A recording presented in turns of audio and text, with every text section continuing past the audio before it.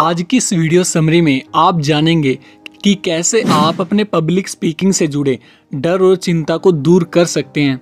इसके साथ ही आप ये भी जानेंगे कि पब्लिक स्पीकर भी एक इंसान होता है। उससे भी गलतियाँ होती हैं। उसे भी स्टेज पर जा करके लोगों के सामने बोलने से डर लगता है। लेकिन सबसे इम्पोर्टेंट बात यह है दोस्तों कि अगर आपके अंदर हिम्मत कॉन्फिडेंस और पब्लिक स्पीकिंग सीखने का पक्का इरादा है तो आप प्रैक्टिस और इस वीडियो समरी में बताई गई टिप्स की हेल्प से एक सक्सेसफुल पब्लिक स्पीकर बन सकते हैं। तो अपने पब्लिक स्पीकर बनने की शुरुआत आज की इस वीडियो को ध्यान से देख करके कीजिए, क्योंकि अगर आप किसी को कुछ सिखाना चाहते हैं तो पहले आपको उसे खुद सीखना होगा। एंड अगर आप हमारे चैनल पर नए हैं तो दोस्तों जल्दी से सब्सक्राइब कीजिए एंड बेल आइकन को दबा दीजिए, ताकि आपको आने वाली हमारी न्यू वीडियोज़ की नोटिफिकेशन सबसे पहले मिल सके।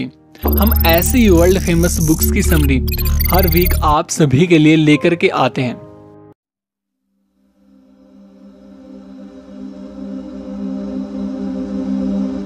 नमस्ते दोस्तों, आप सभी का एक बार फिर से स्वागत है। सेल्फ हेल्प बुक चैनल पर। और आज की इस वीडियो में हम आपके साथ शेयर करने वाले हैं the quick and easy way to effective speaking book की समरी को, जिसके ऑथर हैं दोस्तों डेल कार्नेगी डेल कार्नेगी एक फ़ेमस राइटर और एक लेक्चरर थे दोस्तों। उन्होंने पब्लिक स्पीकिंग सेल्समैनशिप और सेल्फ इम्प्रूवमेंट और कम्युनिकेशन स्किल्स के लिए कई सारे कोर्सेज तैयार किए थे। वह डेल कार्नेगी ट्रेनिंग के फाउंडर भी थे दोस्तों, जिसके अभी 85 कंट्रीज़ के अंदर ब्रांचेज हैं। और आज हम उन्हीं की best selling book the quick and easy way to effective speaking से कुछ लेसन्स आप लोगों के साथ शेयर करने वाले हैं। तो चलिए दोस्तों, बात करते हैं इस बुक के इंट्रोडक्शन के बारे में। आपको कैसा लगता है दोस्तों, जब कोई किसी पार्टी में बोलने के लिए माइक्रोफोन आपकी तरफ़ करता है, आप क्या करोगे? जब जब कोई आपको एक्सपर्ट्स के सामने एक रिपोर्ट पेश करने को कहता है आप कैसे रिएक्ट करेंगे अगर आपको किसी कॉन्फ्रेंस में एक स्पीच देने के लिए बुलाया जाए? कुछ लोगों के लिए ऐसे मौके बहुत ही ज़्यादा एक्साइटिंग और रोमांच से भरे होते हैं। और वो चाहते हैं कि उन्हें बोलने के ऐसे मौके और ज़्यादा मिले। लेकिन कुछ लोग ऐसे मौक़ों पर घबराने और चिंतित होने लगते हैं। अगर आप भी उस समय अनकंफर्टेबल फील करते हैं, जब स्टेज पर सबका ध्यान आपकी तरफ़ होता है तो ये बुक आपके लिए दोस्तों। ये बुक आपको एक अच्छा पब्लिक स्पीकर बनने में आपकी हेल्प करेगी। ये बुक दूसरी बुक्स की तरह बिल्कुल भी नहीं है। पब्लिक स्पीकिंग पर लिखी गई काफ़ी किताबें टेक्निक्स पर फोकस करती हैं, जैसे कि वोकल आर्टिकुलेशन लेकिन यह बुक इस बात पर फोकस करती है दोस्तों कि आप कैसे ऑडियंस का ध्यान अपनी ओर खींच सकते हैं। यह बुक उन सक्सेसफुल लोगों की कहानी बताती है, जिन्हें पब्लिक स्पीकिंग में अपनी बात रखने से डर लगता था या फिर वो शरमाते थे। लेकिन अब वो एक सक्सेसफुल स्पीकर हैं। लोग आज उनकी बातें दोहराते हैं और उनकी बातों ने कई लोगों की ज़िंदगी पर गहरा असर डाला है। यह बुक आपको किसी और के जैसा बनने को नहीं कहती है। यह बुक आपको अपने अंदर कॉन्फिडेंस उम्मीद और एक पक्का इरादा पैदा करने में आपकी हेल्प करेगी। इस बुक को पढ़ने के बाद आप अपने अंदर के डर और चिंता को दूर कर पाएँगे। इस बुक की मदद से आप लोगों के बीच आराम से बोल पाएँगे। तो चलिए दोस्तों, आगे हम बात करते हैं हमारे फ़र्स्ट चैप्टर के बारे में, जिसमें ऑथर बेसिक स्किल्स हासिल करने के बारे में बताते हैं। अगर आपको लोगों के बीच बोलने में डर लगता है तो आप ये ज़रूर चाहेंगे कि इस डर पर आप काबू पा लें, और शायद ये भी चाहेंगे कि झिझक को दूर किया जाए। आप चाहेंगे कि आप कॉन्फिडेंट और शांत रहें। आप यह ज़रूर चाहेंगे कि आपके विचार इस तरीके से बोले जाएँ कि वो सामने वाले को आसानी से समझ में आए। तो आप अपनी बात को साफ़ साफ़ रख सकते हैं, जिससे कि लोगों को आपका पॉइंट ऑफ़ व्यू समझने में आप मदद मिलेगी। इसके लिए दोस्तों, पहले आपको दूसरे लोगों के एक्सपीरियंस से सीखना चाहिए। कोई भी जन्म से पब्लिक स्पीकर नहीं होता। यह एक स्किल है जिससे आपको मास्टर करना पड़ेगा। इसमें परफेक्ट होने के लिए सालों लग जाते हैं। दूसरा, आपको हमेशा अपने गोल को माइंड में सेट करना होगा। आपको याद रखना होगा कि सेल्फ कॉन्फिडेंट होना और असरदार तरीके से लोगों के बीच बोल पाने के क्या क्या फ़ायदे हो सकते हैं। आप ज़्यादा दोस्त बना सकते हैं दोस्तों और बेहतर तरीके से अपने समाज की सेवा भी कर सकते हैं। यहाँ तक कि आप अपने ऑफ़िस में भी लोगों को इन्फ्लुएंस कर पाएँगे। यह पता होना चाहिए कि अच्छी तरह से बोलना आपको लीडरशिप रोल के लिए भी तैयार करेगा। और तीसरा, ये ठान लीजिए कि आप सक्सेसफुल होंगे। इससे आप पॉजिटिव तरीके से सोच पाएँगे और विश्वास कर पाएँगे कि आप लोगों के बीच ठीक से बोल सकते हैं और इसमें सक्सेसफुल भी हो सकते हैं। एक नेगेटिव माइंडसेट से कुछ भी भला नहीं हो सकता। और चौथा, आपको प्रैक्टिस करने का कोई भी मौका नहीं छोड़ना चाहिए। एक अच्छा स्पीकर बनने के लिए सिर्फ़ पब्लिक स्पीकिंग के डूज एंड डोंट्स को जानना काफ़ी नहीं है। यानी कि आपको क्या करना है और क्या नहीं करना है, सिर्फ़ ये जानना काफ़ी नहीं है। आपको लगातार प्रैक्टिस भी करनी होगी। अगर आप प्रैक्टिस नहीं करते तो आपको कभी भी पता नहीं चल पाएगा कि आपने कितनी प्रोग्रेस की है। इस बुक के ऑथर डेल कार्नेगी को एक बार एक मैसेज मिला, जिसे देख करके वो हैरान थे। यह मैसेज मारिया लाओ नाम के एक आदमी ने भेजा था दोस्तों।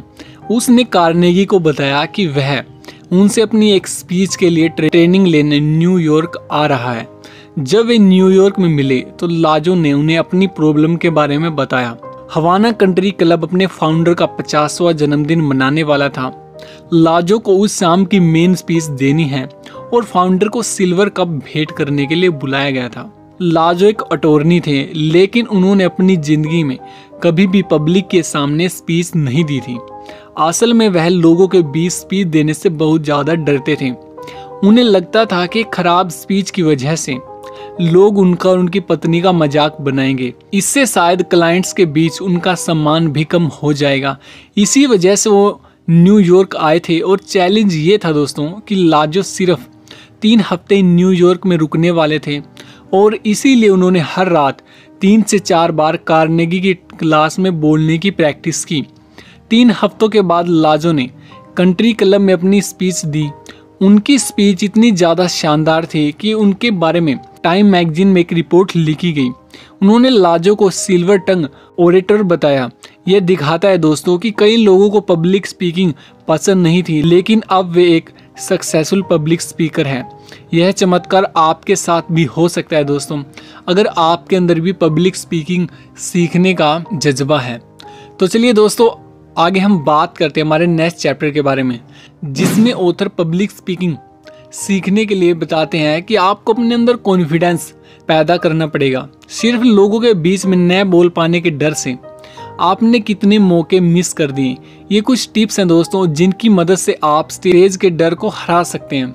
इससे आपको कुछ ही हफ़्ते हफ्तों में अपने अंदर कॉन्फिडेंस लाने में भी मदद मिलेगी। इसके लिए पहले आपको कुछ चीज़ें जान लेनी चाहिए कि आप अकेले नहीं हैं जिन्हें पब्लिक स्पीकिंग से डर लगता है। बहुत सारे लोग यहाँ तक कि प्रोफेशनल स्पीकर को भी कभी कभी स्टेज पर जाने से डर लगता है। आप पब्लिक स्पीकिंग से इसलिए डरते हैं क्योंकि आपको इसकी आदत नहीं है। लगातार प्रैक्टिस करने से आप इस डर को अपने अंदर से निकाल सकते हैं। यह बिल्कुल पहली बार टेनिस खेलने या फिर कार चलाने सीखने जैसा ही है दोस्तों। अगर आप प्रैक्टिस नहीं करेंगे तो आप कभी भी ये सब अच्छे से नहीं सीख पाएँगे। और दूसरा, अच्छे से तैयारी करें। कभी भी स्पीच का एक एक शब्द याद न करें, क्योंकि आप शब्द को भूल सकते हैं, जिसके कारण आप स्टेज पर घबरा सकते हैं। अपने खुद के शब्दों में बोले ताकि आप एक्टिव और इफ़ेक्टिव लगे, ना कि एक रोबोट हालाँकि आप अपनी स्पीच की पहले से आउटलाइन तैयार कर सकते हैं। इससे आप ये पक्का कर पाएँगे कि आपकी स्पीच एक लॉजिकल पैटर्न फॉलो करे और आपको दिए गए टाइम में फिट बैठ जाए। अपनी स्पीच को अपने शब्दों में प्रैक्टिस करें दोस्तों। आप अपने दोस्तों के साथ भी इसकी प्रैक्टिस कर सकते हैं ताकि आपको उनका फीडबैक मिल सके। और तीसरा स्टेप है दोस्तों सक्सेस पाने के लिए पॉजिटिव नज़रिए को अपनाएँ। अपने सब्जेक्ट में अपना सब कुछ लगा दें और अपना पैसन ऑडियंस को दिखाएँ। अपने आप को शाबाशी दें और बेहतर करने के लिए अपने आप को एनकरेज करें और आखिर में कॉन्फिडेंट रहें। बोलने से पहले दोस्तों, आपको एकदम डीप ब्रेथ लेनी है। और उसके बाद आपको एकदम सीधे खड़े रहना और अपनी ऑडियंस से आई कांटेक्ट बनाए रखना है। लोग सिर्फ़ आपको सुनने आए हैं। इसलिए स्टेज को संभालें और उन्हें दिखा दें कि आप क्या क्या कर सकते हैं। वेनस बुसनेल, जो कि इक्विटेबल लाइफ एश्योरेंस सोसाइटी के वाइस प्रेसिडेंट थे दोस्तों, कुछ साल पहले उन्हें पूरे अमेरिका से आए 2000 लोगों के बीच बोलने के लिए बुलाया गया था। उन्होंने इंश्योरेंस इंडस्ट्री में अपना करियर अभी शुरू ही किया था, लेकिन उनकी कामयाबी के कारण उन्हें 20 मिनट लंबी स्पीच देने के लिए चुना गया। बुसनेल ने इसे एक्सेप्ट किया, लेकिन उन्होंने एक गलती कर दी दोस्तों। उन्होंने अपनी स्पीच का एक एक शब्द रट लिया और हर हाव भाव यानी कि एक्सप्रेशन को शीशे के सामने प्रैक्टिस कर लिया था। जब वह दिन आया, बुसनेल स्टेज पर खड़े हुए थे। लेकिन वे सब कुछ भूल गए। उन्होंने एक कदम पीछे लिया और दोबारा अपनी स्पीच को शुरू करने की कोशिश की। एक कहानी के लिए एक स्टेज सेटअप होना बहुत ज़रूरी है दोस्तों। स्टेज पर कोई भी रेलिंग नहीं थी और दीवार और स्टेज के पीछे बहुत ज़्यादा खाली जगह बची हुई थी। बुसनेल स्टेज पर पीछे की तरफ़ जाते रहे और अपनी स्पीच की कुछ लाइंस को बार बार दोहराने लगे। लेकिन जब चौथी बार उन्होंने अपना कदम पीछे लिया तो वो स्टेज से नीचे गिर गए और ऑडियंस उन पर ज़ोर ज़ोर से हंसने लगी। और इन सब के बीच अच्छा यह हुआ दोस्तों कि ऑडियंस को यह सब उनके एक एक्ट का हिस्सा लगने लगा। बुसनेल को इतनी ज़्यादा शर्मिंदगी महसूस हुई कि उन्होंने अपनी जॉब छोड़ देने को चाहा, लेकिन उनके सीनियर से उनका रेजिग्नेशन एक्सेप्ट नहीं किया और उनके खोए हुए कॉन्फिडेंस को वापस लाने में उनकी मदद की। कुछ समय के बाद बुसनेल उस ऑर्गेनाइजेशन के सबसे अच्छे स्पीकर बन गए थे। उन्होंने अपनी स्पीच को फिर कभी नहीं रटा। तो चलिए दोस्तों, इसी के साथ आगे हम बात करते हैं हमारे नेक्स्ट चैप्टर के बारे में, जिसके अंदर ओथर अच्छे और असरदार तरीके से बोलने का आसान रास्ता बताते हैं। क्या आपको कभी किसी को एक मुश्किल सब्जेक्ट बोलते हुए सुना है? क्या आप उस स्पीच को समझ पाए थे जब वो बोल रहे होते हैं? तो शायद उनका ध्यान इधर उधर चला जाता होगा। चाहे आप कितनी अच्छे क्यों ना हो पब्लिक स्पीकर होने में एक दोस्त भी है दोस्तों। आपकी ऑडियंस आपको नहीं सुनेगी, अगर आप बहुत मुश्किल शब्द यूज़ करते हैं। उनका ध्यान आप पर नहीं होगा। अगर आप सिर्फ़ किसी बुक में लिखी हुई बातों को ही अपनी स्पीच में दोहराएँगे, आपको उस स्पीच में अपनी बातें कहनी होंगी, जिससे कि ऑडियंस आपसे जुड़ पाए। तो पहले आप एक शानदार स्पीच कैसे दे सकते हैं? पहली बात, आपको सिर्फ़ उस पर बोलना चाहिए जिसकी आपको नॉलेज हो। आपकी स्पीच किसी ऐसे टॉपिक पर हो सकती है, जिसे आपने अच्छी तरह से स्टडी किया हो। यह आपके प्रोफेशन के बारे में हो सकती है दोस्तों। यह आपकी ज़िंदगी की मुश्किलों और उनका आपने कैसे सामना किया, इसके बारे में भी हो सकती हैं। यह आपकी हॉबी के बारे में भी हो सकती है दोस्तों। या वह आपके किसी यूनिक एक्सपीरियंस के बारे में हो सकती हैं। आपकी ऑडियंस जानती है दोस्तों कि आपने इसे याद किया है या फिर आप दिल से बोल रहे हैं। इन्हीं सब बातों से फ़र्क पड़ता है कि आपकी स्पीच सुनने लायक है या फिर नहीं। और दूसरा, अपने टॉपिक को लेकर के एक्साइटेड रहें। अपनी ऑडियंस को अपना एक्साइटमेंट दिखाएँ। पॉजिटिव रह करके अपने टॉपिक के बारे में बात कीजिए। इससे ऑडियंस आपकी बातों पर पर ज़्यादा ध्यान देगी और आपको ज़्यादा सुनना चाहेगी। तीसरा, अपनी बात ऑडियंस के साथ शेयर करने के लिए उत्सुक रहें। आपका एक्साइटमेंट आपकी ऑडियंस तक पहुँचना चाहिए। आपका ध्यान ऑडियंस पर रखें, ना कि खुद पर। अपनी बात ऐसे शब्दों में कहें जिन्हें कि वो आसानी से समझ सकें। डेल कार्नेगी ने एक बार न्यूयॉर्क सिटी बैंक के ऑफिसर्स के लिए एक पब्लिक स्पीकिंग कोर्स ऑर्गेनाइज किया था। ये ऑफिसर्स बहुत ही बिज़ी रहते थे। उनके पास कोर्स के लिए बहुत कम टाइम बचता था। जैक्सन जो कि सिटी बैंक के एक ऑफिसर थे, उन्हें क्लास को एक स्पीच देने के लिए कहा गया। दरअसल वो इसके लिए तैयार नहीं थे। और जल्दबाजी में वो अपने ऑफ़िस के बाहर से फोर्ब्स मैगजीन की कॉपी खरीद करके ले आए और फिर वे क्लास के लिए चल पड़े। अपनी स्पीच के लिए उन्होंने मैगजीन के एक आर्टिकल को पढ़ा, जिसका टाइटल था दोस्तों, सफल होने के लिए। आपके पास सिर्फ़ दस साल है। जैक्सन ने इस आर्टिकल के बारे में बात करने की कोशिश की, लेकिन वो कामयाब नहीं हुए। उनकी स्पीच में कोई रियल मैसेज नहीं था। यह उनकी बॉडी लैंग्वेज और आवाज़ से बिल्कुल साफ़ पता चल रहा था। जब उन्होंने अपनी स्पीच ख़त्म की तो कार्नेगी ने उन्हें बताया कि उनकी स्पीच में उनका खुद का कुछ भी नहीं था। लोग यह नहीं सुनना चाहते कि फोर्ब्स मैगजीन के ऑथर ने क्या कहा। लोग जैक्सन और उसकी सोच के बारे में जानना चाहते थे। जैक्सन ने वह आर्टिकल फिर से पढ़ा। उन्हें एहसास हुआ कि वह उस मैगजीन में लिखी बातों से बिल्कुल सहमत नहीं थे।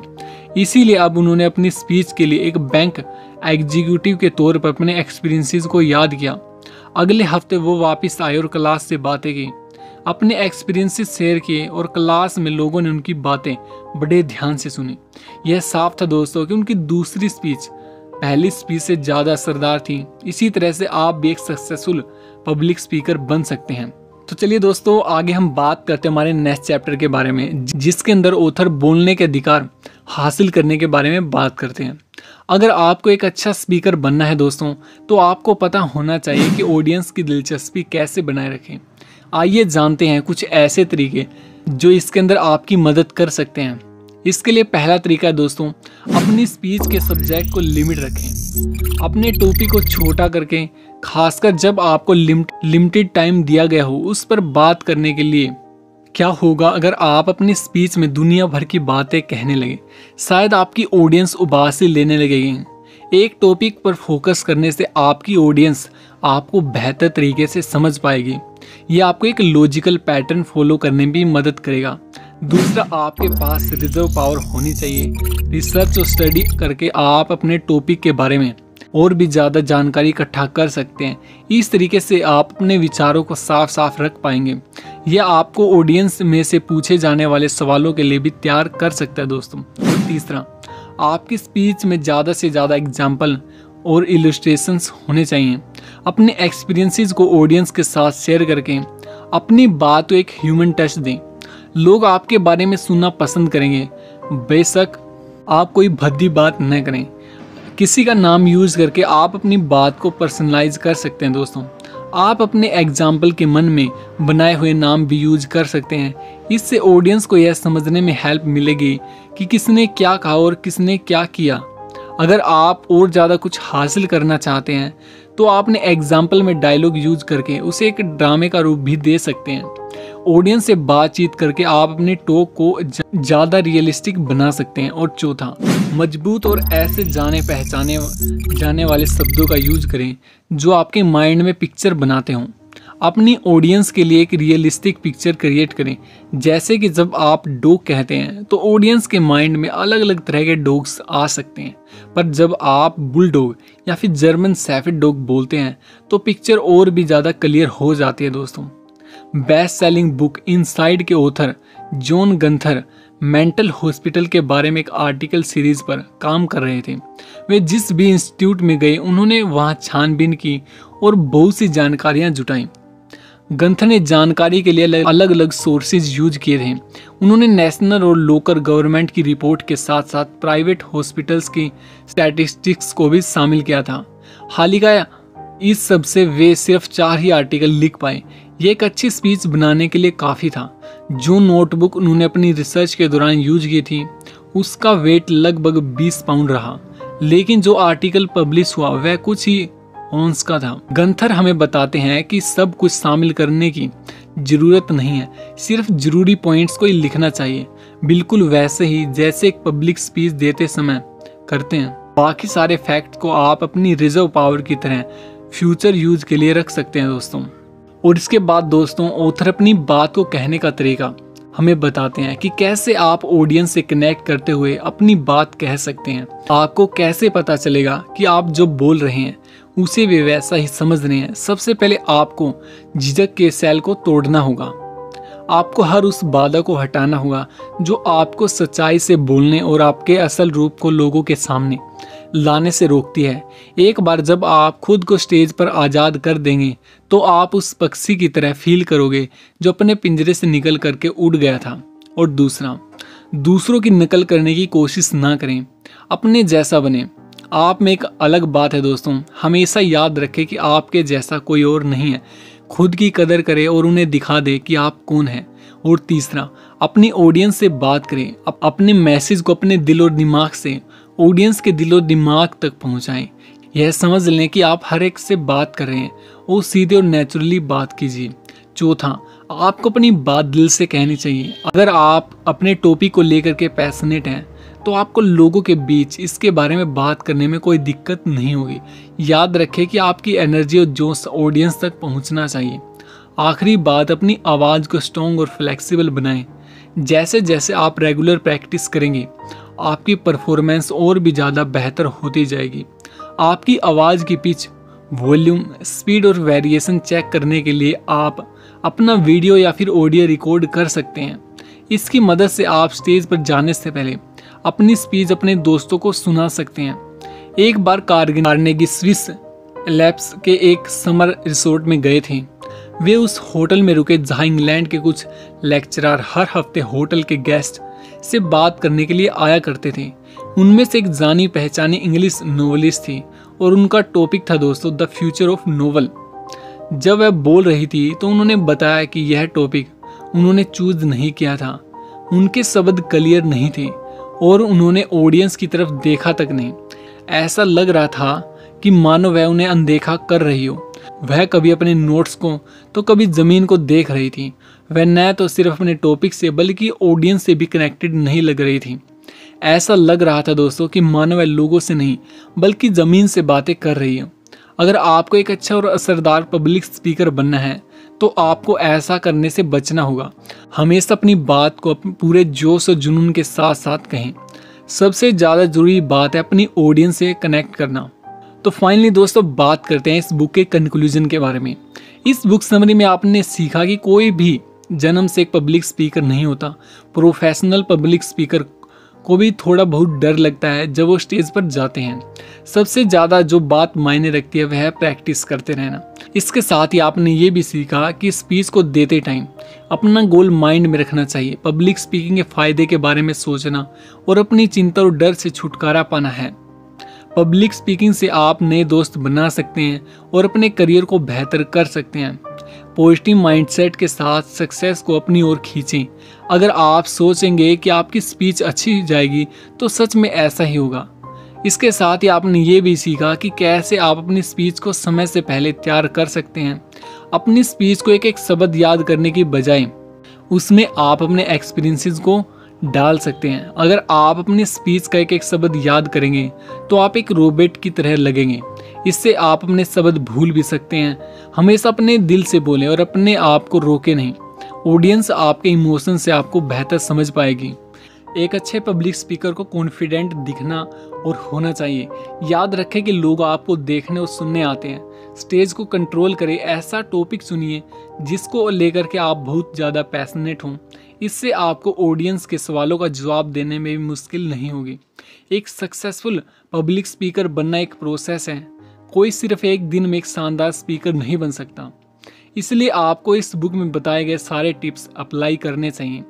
एक दिन आप भी अपने लिए तालियाँ बजते हुए और लोगों को अपने समान में खड़े होते हुए देखेंगे तो पेशेंस रखिए दोस्तों और प्रैक्टिस करते रहिए, जब तक कि आप एक परफेक्ट पब्लिक स्पीकर नहीं बन नहीं बन जाते। तो दोस्तों, आज की इस वीडियो समरी में बस इतना ही। उम्मीद करते हैं कि आपको आज की वीडियो समरी पसंद आई होगी। तो दोस्तों, मिलते हैं हमारी नेक्स्ट वीडियो में। तब तक के लिए आप सभी खुश रहिए, खुशियाँ बांटते रहिए। वी लव यू दोस्तों, जय हिंद दोस्तों, जय हिंद।